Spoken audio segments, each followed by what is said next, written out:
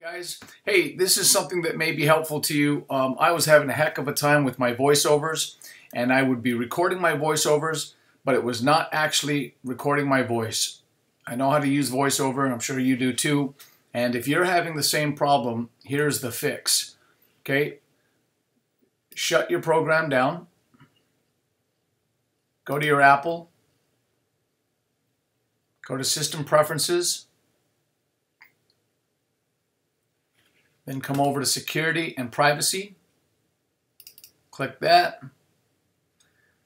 Click on your microphone and you'll find probably that your Final Cut Pro on your iMovie or whatever other app may not be functioning the way you want it to be needs to be checked.